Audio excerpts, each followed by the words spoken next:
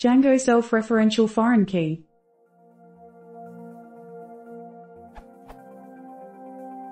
I'm kind of new to web apps and database stuff in general, so this might be a dumb question. I want to make a model, category model, with a field that points to the primary id of another instance of the model, its parent. How do I do this? Thanks.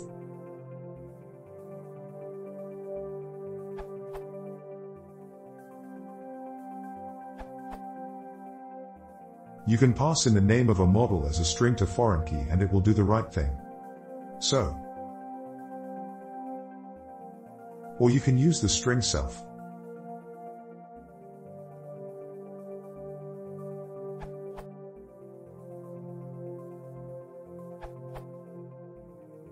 You can use the string self to indicate a self-reference.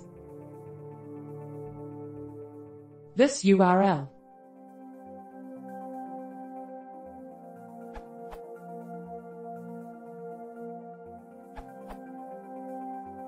You also to set null equals true and blank equals true.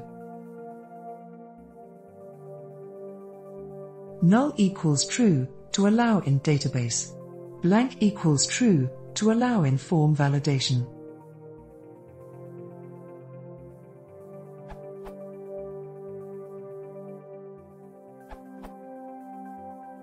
This URL